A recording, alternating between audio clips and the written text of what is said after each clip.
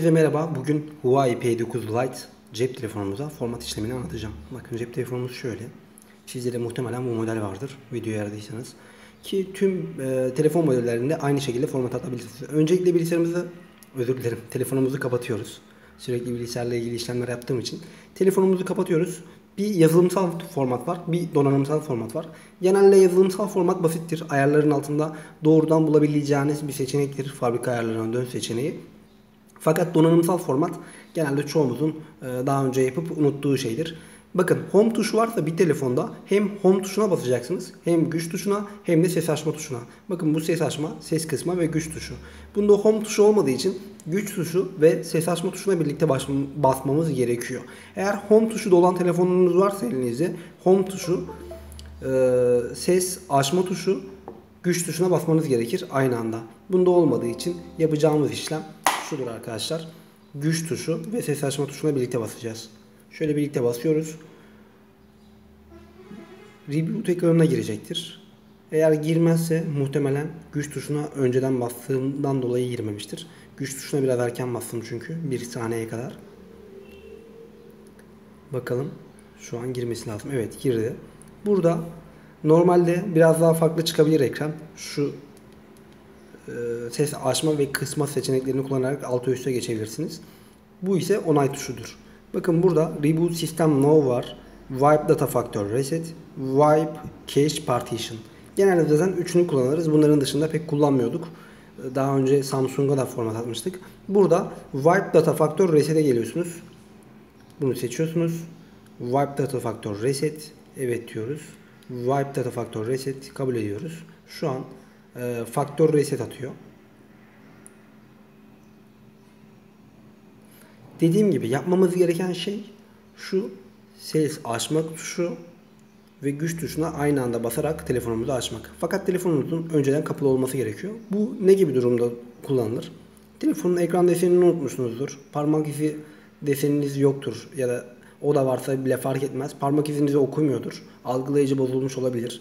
Veya ekran kilit şifresini unutmuşsunuzdur. Bu şekilde donanımsal olarak cihazınızı formatlayabilirsiniz. Peki cihazın arayüzüne ulaşırsanız ne yapacaksınız? Daha kolay aynı şeyin yazılımsal bir şekilde halledebilirsiniz. Ayarlara tıklıyorsunuz. Ayarların altında e, fabrika ayarlarına dön veya telefonumu sıfırla diye bir seçenek var. Ona tıklıyorsunuz. Birazdan onu da göstereceğim bu işlem bitsin. Çünkü o işlem çok basit. Hani hepiniz yapabilirsiniz. Biraz karıştırarak 1-2 dakika içinde bulursunuz. Şu an faktör reseti bitirdi. Şu an telefonumuz aslında sıfırlandı. Bir adım daha göstereceğim. O adımda şey, keşleri temizlemek için. Aslında onu yapmasanız da olur. Ben şu an faktör reseti uyguladım.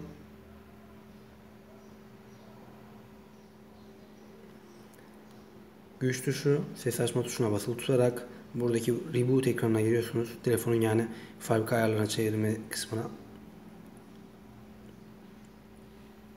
Oradan az önceki seçeneği seçiyorsunuz. Tamam. işlem bitti. Karşımıza böyle bir ekran gelecek. Burada bakın e, tekrardan wipe data factor reset demeyeceğiz. No'ya gelelim. No dedik. Bakın wipe cache partition diye bir seçenek var. Seçelim. Cache'leri de temizlesin. Bunu da temizledi. Şimdi reboot system no yani sistemi tekrardan başlatıyoruz. İlk önce bakın 3 tane seçenek çıktı. Birinci seçeneğin altındaki ikinci seçeneği tıkladık. OK yaptık. Bir alttaki üçüncü seçeneği de yaptıktan sonra en üstteki seçenekle geri döndük. Şu an telefonumuz kuruluyor sıfırdan.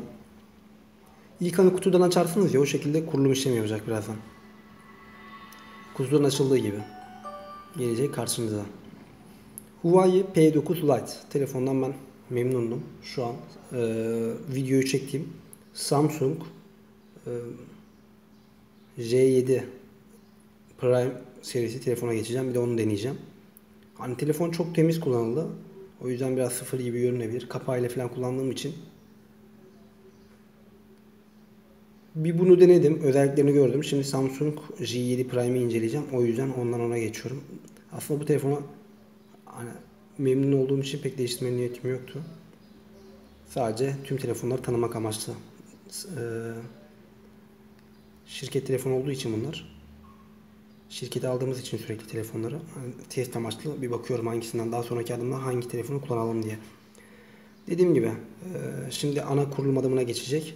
Yapmanız gereken şey güç tuşu, ses açma tuşuna basmak. Telefon kapalıyken karşınıza reboot ekranı gelecektir. Bu şekilde telefonumuzu sıfırlamış olduk.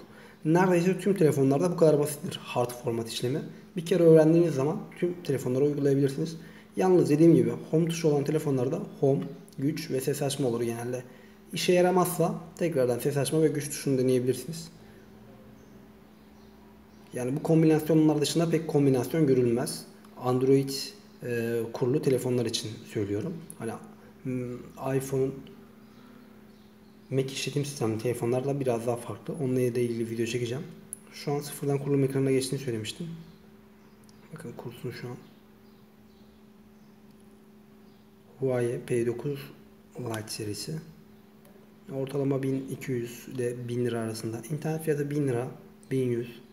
Mağaza satış fiyatları genelde 1250 ile 1300 arasında değişir. Bu segmentteki iyi telefonlardan bir tanesidir.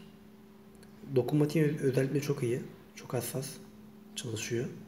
Samsung'a göre dokunmatiğinin çok daha başarılı olduğunu söyleyebilirim.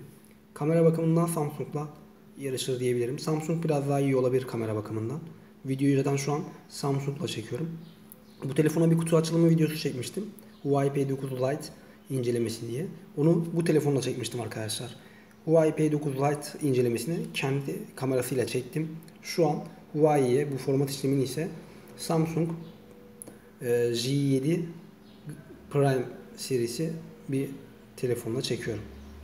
Bakın telefonumuz sıfırdan aldığımız gibi şu an açıldı. Kutudan nasıl açarsanız öyle gelecek karşınıza. Kurulum ekranı gelir başla diye. Android'de klasik ekran.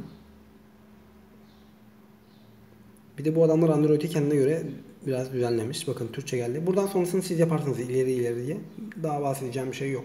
Zaten kısa, kısa ve özlü.